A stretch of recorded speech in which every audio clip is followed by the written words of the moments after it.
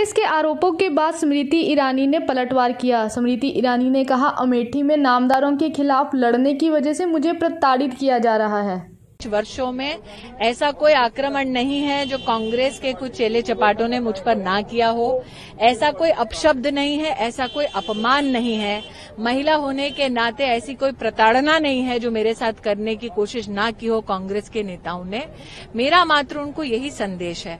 आप जितना मुझे अपमानित करोगे, जितना मुझे प्रताड़ित करोगे, उतना ही जम के मैं अमेठी में कांग्रेस के खिलाफ काम करूँगी।